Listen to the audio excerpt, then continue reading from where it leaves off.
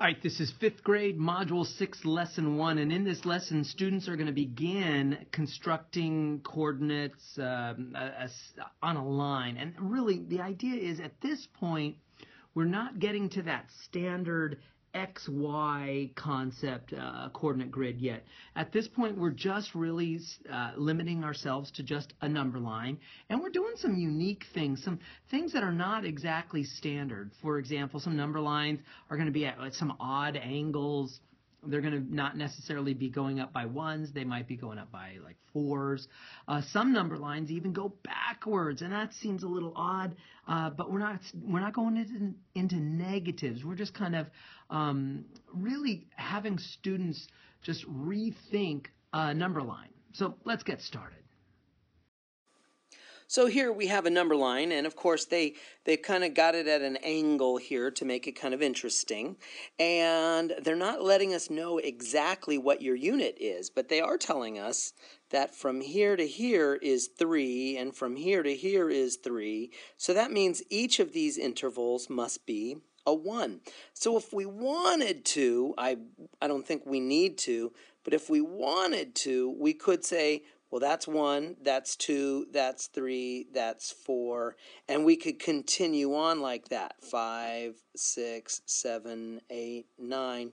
Uh, but not necessary because our our students in fifth grade, they could definitely be doing the skip counting and then count the inter um, the inside intervals as well. For example, what is the coordinate or the distance from the origin? So the idea is that zero right here is the origin. And what is the origin? Uh, what is the distance from the origin of the smiley face? So here's the smiley face, and the distance from the origin is 3. Uh, we could do just one last one. Uh, what is the coordinate uh, at the midpoint of the lightning and the heart? So you've got the lightning here, you've got the heart here, and we need to find the midpoint. So uh, what I do with them to find the midpoint is I imagine uh, like these guys are walking in towards each other. All right, so the lightning goes one step, the heart goes one step. The lightning goes one step, the heart goes one step. The lightning goes one step, and the heart goes one step, and that's where they meet. There's your midpoint right there.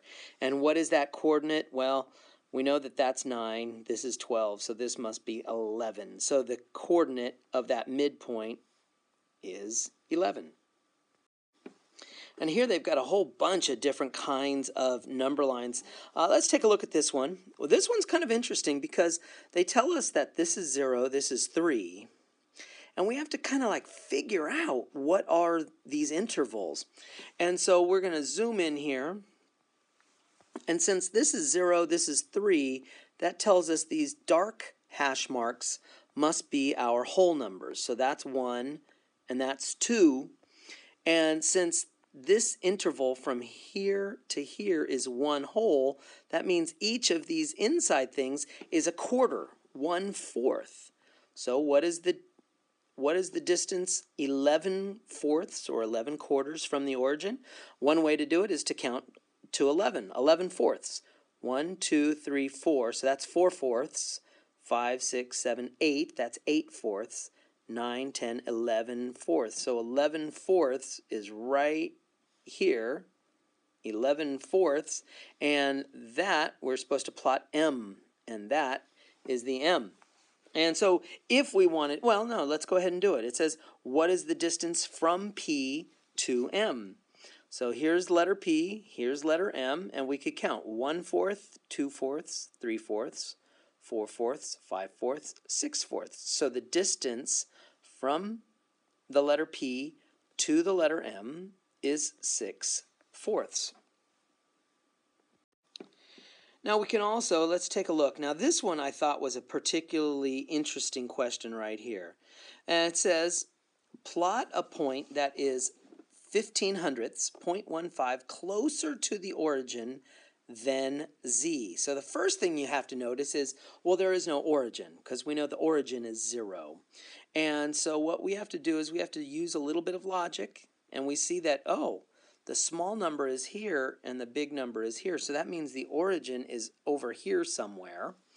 And we have to figure out what our intervals are. So let's start here, 75 hundredths. And that's one, two, three, four, five. So that's five uh, hash marks or five intervals from 75 to uh, hundredths to one whole. Now, if we think of this as money for a second, 75 cents to a dollar, each hash mark would be 5 cents. So if we wanted to, we could think of this as 80.8 or 0.80.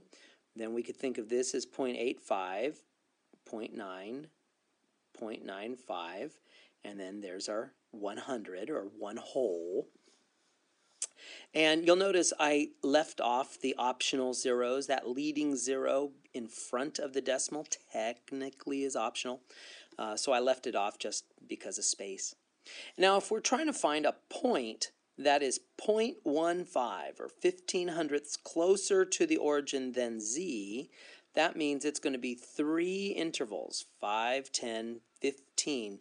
Three intervals this direction, and that makes it right here. And we're going to label that. It doesn't say what label, so I'm just going to call it L for label. Uh, and that point is the point that is 0.15 closer to the origin.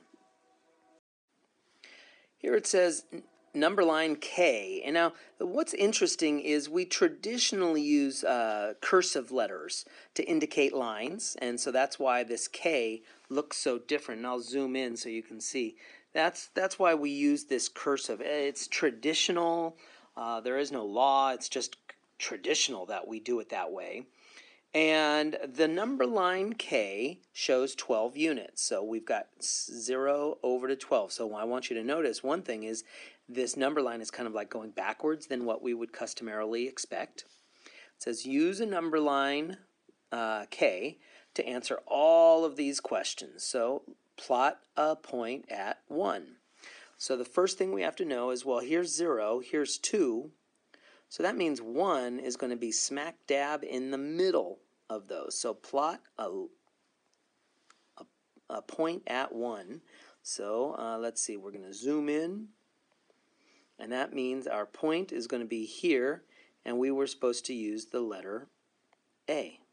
And so that's what uh, that first question is going to look like. And now what you're going to do is you're just going to go through all of these questions and uh, label your point. So label a point that lies at three and a half. Okay, well, if here's zero, here's one, here's two, here's three. So three and a half is between three and 4. And so that's going to be point B. And so we're going to zoom in. And B is going to be right here at 3 and a half. All right. And I think you get the idea. So parents and teachers, just allow your students, there's a um, some time to develop all that number sense. There's a lot of opportunities in this lesson to really review uh, numbers. Uh, things like fractions, all over the place. We want students to be converting those improper fractions, although there's nothing improper uh, about them, but uh, converting those fractions into more meaningful numbers like mixed numbers or integers. Um, and, and that's that for this problem. It's really kind of a fun series of problems. And that wraps up fifth grade, Module 6, Lesson 1. We are beginning the process of learning uh, the coordinate system, but at this point we were just dealing with just one line. Sometimes they were a little unorthodox, but we were dealing with just one line, not quite a coordinate system yet.